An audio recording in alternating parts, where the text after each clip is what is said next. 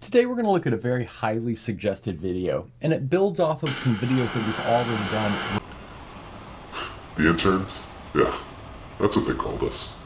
We made our first video and everything was going great. Then everything changed. You see, we had big plans for the second one. It was going to be, well, never mind what it's going to be. Things don't always work out the way they should. You see, we were looking for some sort of inspiration in the history building, but we should have known something was off. Looking back, it was obvious. Can't find anything. What do you got? I don't know. We got something here about Clifford, but I don't know if it's the dog or what. It's probably the dog.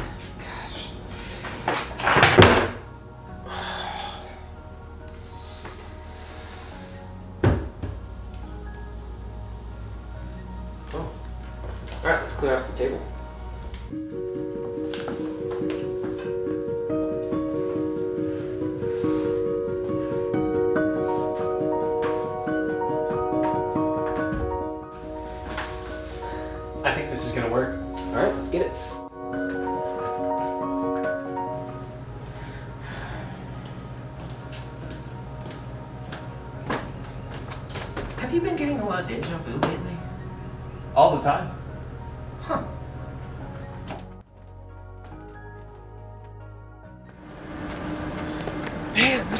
Heavy.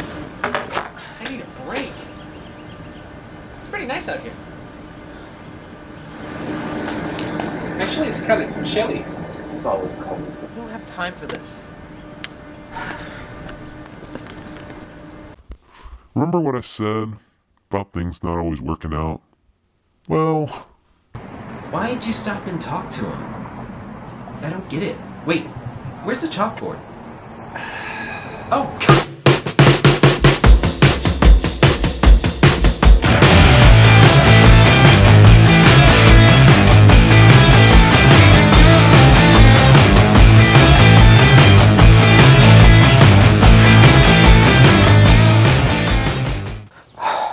We've looked everywhere, man. I just, I don't know where it could be.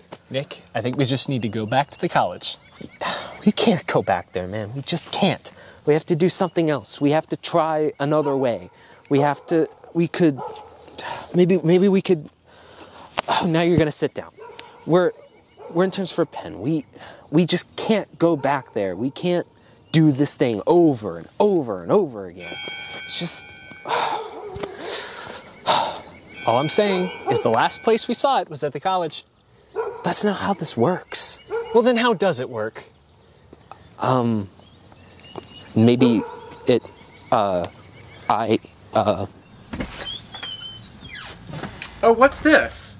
I guess it's the next video idea. Today we're going to look at a very highly suggested video, and it builds off of some videos that we've already done regarding the tensor product, the tensor algebra, and using the tensor algebra to construct symmetric and exterior algebras. And here we're going to look at something called a Clifford algebra. And so this is a bit technical, so we're going to work through a couple of basic examples first after looking at the definition. Okay, so let's suppose that V is a vector space over an arbitrary field K. Later we'll say that this field K cannot have characteristic 2, but right now we're leaving it as arbitrary. In most of our examples, we'll use K to be the real numbers. Our next piece of the building block is Q, which is a map from V to K, and it's a quadratic form. Later, we'll tell you what that really means, but right now I'll just say it's a quadratic form. Then, the Clifford algebra of the vector space V associated with the quadratic form Q is defined as follows. So it'll be CLVQ, and so it's the tensor algebra on V, modded out by the ideal generated by things of the term V tensor V minus QV1. So in other words, inside of this Clifford algebra, if you multiply a vector with itself, you get a multiple of a constant. And what multiple of a constant? This um, quadratic form evaluated at that vector. And so let's recall that the tensor algebra is defined to be the infinite direct sum of all of these tensor powers of V. So let's recall V tensor power 2 is really just V tensored with itself. V tensor power 3 is V tensor V tensor V, and V tensor power 0 is just the ground field K. Okay, so we're going to start off by looking at a couple, maybe two really, really simple examples. And after looking at these simple examples, what we'll do is look at some general uh, results that will allow us to kind of classify these types of things. Okay, so for my first example, let's take our ground field to be the real numbers. And our vector space V is spanned by a single vector, which we will call X. So that means everything in V is a multiple of X. So it's an R multiple of X. So that means when we talk about what our quadratic form is, we need to talk about what it does to an arbitrary element from V. But like I said before, an arbitrary element of V is a scalar multiple of X. So Q evaluated at alpha X is going to be alpha squared times lambda. And this fact that it has to be a square of the constant multiple of x here has to do with this definition of q being a quadratic form. And then this lambda is just like some real number. So here, let's write that here. We've got lambda is just some fixed real number built out of the quadratic form. So in particular, if we evaluate just the basis vector x, we get the number lambda. Okay, so let's maybe recall real quick that TV in this case was in fact just the ring of polynomials. This is the only case when the tensor algebra coincides with the symmetric algebra or the ring of polynomials here. And that is because we only have a single um, dimensional vector space. And then let's also recall that here, instead of writing x tensor x, we generally use the notation x squared. And we'll in fact use that notation as well within the Clifford algebra. So now let's do a little calculation in the Clifford algebra. So let's say in Clifford algebra, so in this case, it'll be the Clifford algebra CLVQ. So let's see, we'll have x squared is equal to q evaluated at x times 1, but notice that that is equal to lambda times 1. Where here we're thinking about 1 as not only just the real number 1, but a little bit more loose. And this is the real number 1, and this is the basis for R as a vector space over itself. So essentially, any real number can be taken to be the basis vector for R except the number zero. So keeping that in mind, we can do a change of basis for our ground field to choose special values for lambda. And I won't go this through this in too many details. We did this in a previous video, but that will allow us to have the following possibilities. x squared could be equal to 1, 0, or negative 1. And these all have special names. So if x squared is equal to negative 1, then we have just reconstructed the complex numbers as a Clifford algebra over the real numbers. If we get x squared is equal to 0, we've constructed something called the dual numbers, which we did a video on as well. And then if we get x squared is equal to 1, that's sometimes called the split complex numbers. And maybe we wrote that as r adjoin j in the video. And like I said, we did a video on this before, but this is just a reconstruction of those algebras in terms of this Clifford algebra. And before we move on, I should really point out that what we did here is we performed a change of basis on the ground field in order to take this x squared to be 1, 0, or minus 1 by really changing the value of this lambda to be 1, 0, or minus 1. Okay, so anyway, there's kind of our simplest example of a Clifford algebra. Now let's maybe get rid of this and we'll look at a two-dimensional example. Okay, so let's look at a slightly more complicated example. So again, we've got our ground field, which is the real numbers, but now V is a two-dimensional vector space over R. So let's say it's spanned by X, Y. So that means everything in V is a linear combination of X and Y. In other words, it's of the form alpha X plus beta Y, where alpha and beta are in R. That means when we're defining Q, it has to be able to input an arbitrary element like that and then output a number. And because it's a quadratic form, the scalars that are the multiples of our basis vectors need to occur as a quadratic form. So in other words, with degree 2. And that's what we have here. So if we've, we have q evaluated at alpha x plus beta y is equal to 2 alpha squared minus 3 alpha beta minus beta squared. So here we're looking at a very specific example. Although you could have more arbitrary constants here, here, and here. Okay, so now before we maybe move on a little bit, I'd like to point out that this can be written as some sort of matrix operation. In fact, what we have here is the row vector alpha beta times the matrix 2 minus 3 halves minus 3 halves minus 1 times the column vector alpha beta. So we've got our vector transposed here a symmetric matrix, and then a vector here. So this is a way of defining this quadratic form in terms of a symmetric matrix. And now the word quadratic form is becoming more clear here because in fact we have two copies of the vector so that would be like quadratic there okay so let's maybe hang on to this observation for later and then do some sample calculations within this Clifford algebra okay so let's write that down. So in CLVQ, what is, for instance, x times itself? So we know that x squared should be equal to q evaluated at x times 1, where 1 is the basis vector for r. Here we're just going to take that to be the number 1 and not worry about rescaling. We'll revisit that a little bit more later. Okay, so what should we get here? So notice that if we evaluate q at just x, that's like having beta equal to 0 and alpha equal to 1. So we just get the number 2. So this is equal to 2. So in other words, we just have the relation x squares to 2. Okay, nice. And now what about y squared?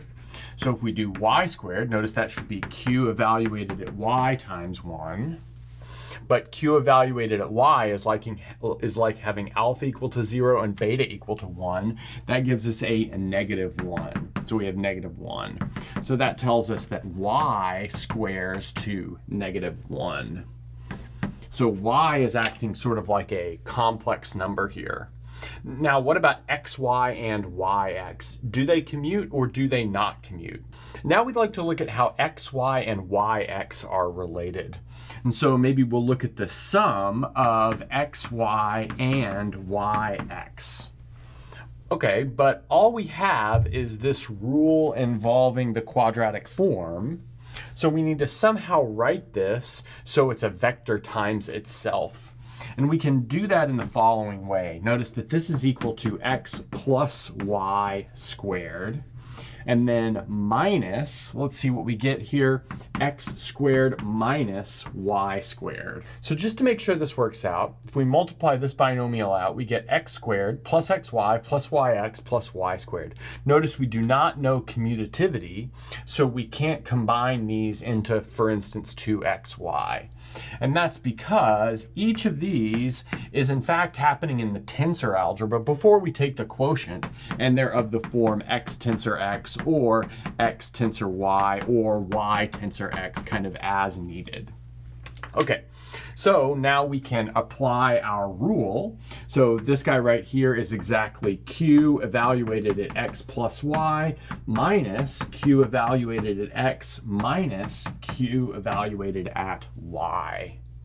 Now we can just like look into the definition of our quadratic form to figure this out. So notice that q evaluated at x plus y, that's like having alpha equal to 1 and beta equal to 1. That gives us something like 2 minus 3 minus 1, so that's going to be negative 2. And then minus qx, but that's just minus x squared. We already figured out that's 2.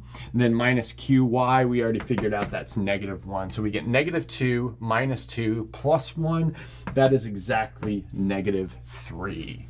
And so that tells us that xy plus yx is in fact equal to negative 3.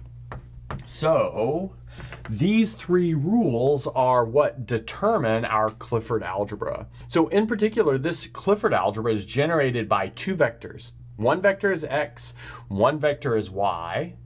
And when you combine x with itself, you get 2. y with itself, you get negative 1. And when you sum xy with yx, you get negative 3. And so although it's generated by those two vectors, kind of algebraically generated by those two vectors, it actually only has a uh, four-dimensional basis or a basis of four elements. And what are those four elements? Well, they're the number one. Those will give us our constants. They're the vector x, they're the vector y, and they are the vector x times y. So you might say, well, why don't I need x squared? It's because I square x, I get 2. I don't need y squared for a similar reason, and I don't need yx because I can write yx in terms of xy using this pink boxed equation. Okay, now that we've looked at a couple of simple examples, let's get rid of this and then maybe dive into more generalities. Now that we've looked at some basic examples, we're ready to look at a more general example. And so we'll still take the ground field to be R, but now we'll have an n-dimensional vector space. So I've still called it V, but it's spanned by these n vectors V1 up to Vn. Then furthermore, we're going to be a little bit more general about how we define our quadratic form.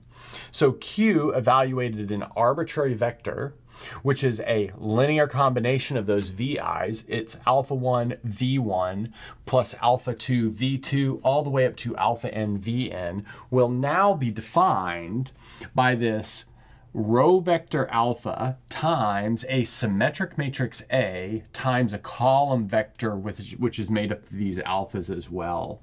So here I've noted that the A transpose is equal to A. That's the same thing as A being symmetric. So that appropriately defines this quadratic form where we think about this entry right here as being the V1 entry, and this is the Vn entry. So we looked at this in our two by two example, so this is just a natural generalization of that. Now we're gonna use a fact, and that fact is that since A transpose is equal to A, it is orthogonally diagonalizable. So in other words, there exists an orthogonal matrix U.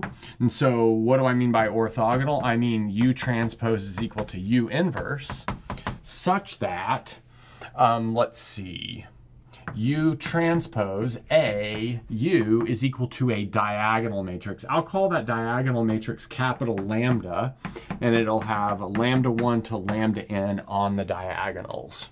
So now let's take a new basis for this vector space with respect to this diagonalization. And that new basis I'll call x1 to xn. So now we have v is equal to the span of x1 up to xn so that's our diagonalized basis. And now we'll have Q of alpha 1 x1 all the way up to alpha n xn is equal to, well, like I said, this has been diagonalized. So in this setup, our quadratic form is diagonalized. So we'll have something like this lambda 1 alpha 1 squared plus lambda 2 alpha 2 squared all the way up to lambda n alpha n squared. So something like that. Okay, so in particular, we have qxi will be lambda i. So that gives us a good piece of information here.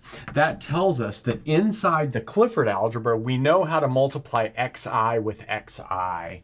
So we have xi times itself, in other words, xi squared, will be the same thing as q evaluated at xi. In this case, it is lambda i. Okay, nice. And now let's see what happens when we multiply xi with xj.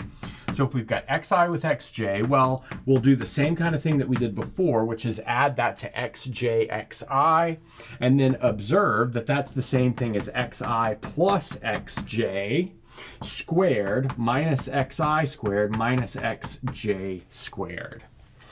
But because we know how our quadratic form works, we know exactly what the quadratic form will tell us about the product of these guys with itself.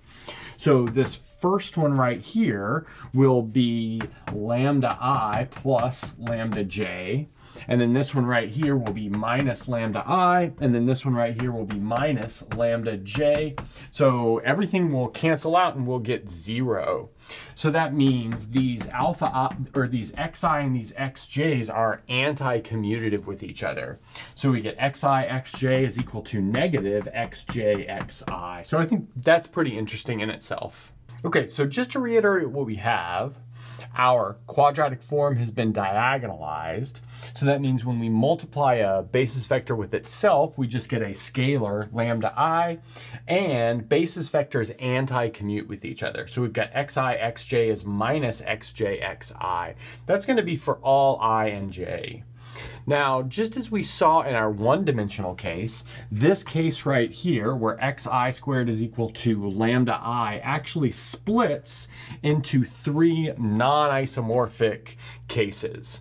So if, for instance, lambda i is 2, then that's isomorphic to the case when lambda i is equal to 1. We can just do a change of basis on the resulting Clifford algebra structure. I won't go into that in too many details. It's essentially what we did in a previous video when we looked at the dual numbers, the complex numbers, and the split complex numbers. So the three different possibilities we get here are if xi squared is 1, 0, or negative 1. So keeping that in mind, we can kind of summarize what we've seen here pretty easily, and we'll do that. Now we're ready for a bit of a summary. So if A is a Clifford algebra with n generators, so that means the vector space that we're constructing it out of is n-dimensional, then A is isomorphic to CLVQ, where V is that n-dimensional vector space and Q is the quadratic form. And here I've written V as the span of vectors x1 up to xp, y1 up to yq, and z1 up to zr, where p plus q plus r is n. So that's how we're getting that n-dimensional vector space and thus those n generators for the Clifford algebra. Then what does our quadratic form look like? Well, based off of the diagonalization procedure that we saw before, we might as well start with it diagonalized. So we've got Q of this crazy linear combination gives us the sum of alpha 1 up to alpha p minus the sum of beta 1 up to beta q. So the result here is that xi squared will be positive 1 because recall that xi squared will be q evaluated at xi, but q evaluated at xi based off of this gives us positive 1. So these are kind of the even elements, if you will. I don't know if that's the right word, but these are things that square to 1. And then each of the yi's square to negative 1 for the same sort of reason in our quadratic form and each of the zi's square to zero. And what happens when you look at other combinations? Well, you get essentially what we had before. So if u and v are from this list here, then we have uv plus vu is equal to zero. Okay, so that's our structure here. And I'd like to point one other thing out. If we have r is equal to zero. So in other words, there's nothing that squares to zero. Things only square to one or positive negative one or positive one, then this is a special type of Clifford algebra called the PQ Clifford algebra. And here we would have the following notation. This is, well, I've used A here. This is CL CL underscore PQ connected to the real numbers or really just any base field because we haven't denoted the base field here. All we actually need, which I haven't gone over that carefully, is that it doesn't have characteristic 2 so that it could be diagonalized. Okay, and I think if you look in the literature, these types of Clifford algebras are well studied. It seems like the ones that include these vectors that square to zero don't show up as much. These other ones that just have vectors that square to one and negative one seem like a little bit more interesting for some reason. If any of you guys know the details behind that, maybe post in the comments. And that's a good place to stop. I. I don't think we have a choice, Nick. I just don't understand how this keeps happening. I don't think I can go through with this again. It's getting it's getting kind of cold. Yeah. It's always cold. It's pretty nice out here. Actually, it's kind of chilly. It's always cold. We don't have time for this.